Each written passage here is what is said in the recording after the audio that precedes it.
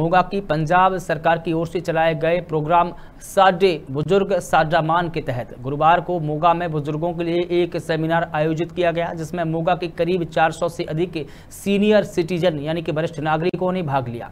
इस दौरान बुज़ुर्गों का चेकअप कर उन्हें दवाइयाँ उपलब्ध करवाई गई। इस मौके पर मोगा डीसी कुलवंत सिंह ने बुज़ुर्गों की परेशानियों को सुना। साथ ही उन्होंने कहा कि किसी भी सीनियर सिटीजन, यानी कि वरिष्ठ लोगों को उनसे सीधे मिलने की बात कही।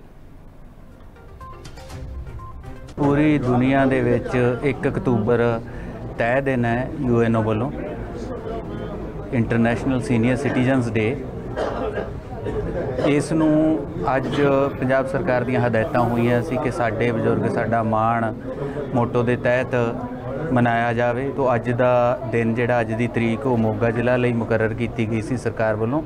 ਉਸੇ ਦੇ ਤਹਿਤ ਅੱਜ ਅਸੀਂ ਡੀਸੀ ਦਫ਼ਤਰ ਮੋਗਾ ਦੇ ਵਿੱਚ ਇਹ ਦਿਨ ਮਨਾਇਆ। ਜਿਹਦੇ ਵਿੱਚ ਸਾਡੇ ਬਜ਼ੁਰਗ, ਸਾਡਾ ਮਾਣ ਇਹ ਆਪਣ ਪੰਜਾਬ ਸਰਕਾਰ ਵੱਲੋਂ ਜੀ ਅੱਜ ਕੈਂਪ ਆਯੋਜਿਤ ਕੀਤਾ ਗਿਆ ਇਹਦੇ ਅਧੀਨ, ਤਾਂ ਕਿ ਜੋ ਬਜ਼ੁਰਗ ਨੇ ਉਹਨਾਂ ਨੂੰ ਜੋ ਸਿਹਤ ਸੰਬੰਧੀ ਮੁਸ਼ਕਲਾਂ ਹੈ ਉਹਦੇ ਪ੍ਰਤੀ ਵੀ ਉਹਨਾਂ ਨੂੰ ਇੱਥੇ ਹੀ ਕੈਂਪ ਲਗਾ ਦਿੱਤਾ ਗਿਆ ਕਿ ਉਹਨਾਂ ਨੂੰ ਹਸਪੀਟਲ 'ਚ ਨਾ ਜਾਣਾ ਪਵੇ।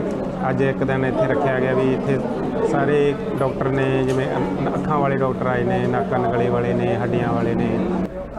ਸਾਡੇ ਬਜ਼ੁਰਗ, ਸਾਡਾ ਮਾਣ ਹਰੇਕ ਡਿਸਟ੍ਰਿਕਟ ਦੇ ਵਿੱਚ ਜੋ ਕਰਵਾਇਆ ਜਾ ਰਿਹਾ ਹੈ। ਇਸ ਦੇ ਵਿੱਚ ਬਹੁਤ ਗਿਣਤੀ ਦੇ ਵਿੱਚ ਸੀਨੀਅਰ ਸਿਟੀਜ਼ਨ ਮੈਂਬਰਾਂ ਨੇ ਹਿੱਸਾ ਲਿਆ, ਜਿਹਦੇ ਵਿੱਚ ਸਾਡੇ ਮੋਗਾ ਜ਼ਿਲ੍ਹੇ ਦੇ ਡੀਸੀ ਸਾਹਿਬ ਸਰਕਲ ਸਰਦਾਰ ਕੁਲਵੰਤ ਸਿੰਘ ਜੀ ਨੇ ਬੜੀ ਯੋਗ ਅਗਵਾਈ ਦੇ ਵਿੱਚ ਸਾਰੇ ਸਿਟੀਜ਼ਨ ਨੂੰ ਮਤਲਬ ਆਪਦੀ ਸਪੀਚ ਦੇ ਕੇ ਉਹਨਾਂ ਨੂੰ ਇਹ ਗੱਲ ਪੂਰੇ ਡਿਟੇਲ ਦੇ ਨਾਲ ਦੱਸੀ ਵੀ ਜਿਹੜੇ ਸਾਡੇ ਬਜ਼ੁਰਗ ਹੈ